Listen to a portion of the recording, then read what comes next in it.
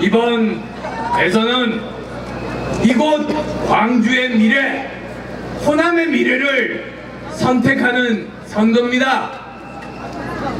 누가 민주당이 국민의당을 호남당이라고 조롱할 때도 저는 자랑스럽게 국민의당 깃발 들고 대구, 부산, 대전 전국 방방곡곡에 가서 당당하게 국민의당 찍어달라 했습니다. 호남 무시하는 민주당에게 또다시 속아서는 안 됩니다, 여러분!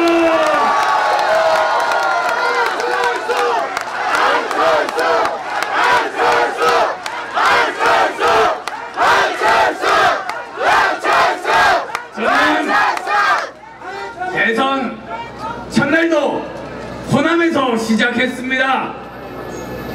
누가 호남 대변할 자격 있습니까? 누구의 승리가 호남의 승리입니까? 누가 지긋지긋한 호남 차별 끝장낼 수 있습니까?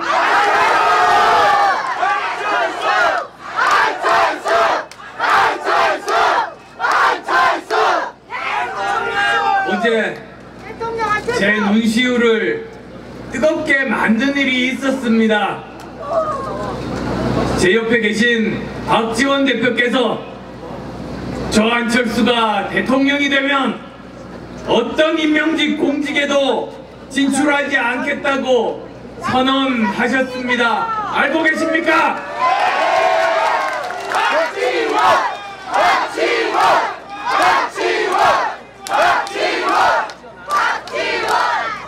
안철수의 승리가 제2의 DJ의 길이라고 말씀하셨습니다. 들으셨습니까?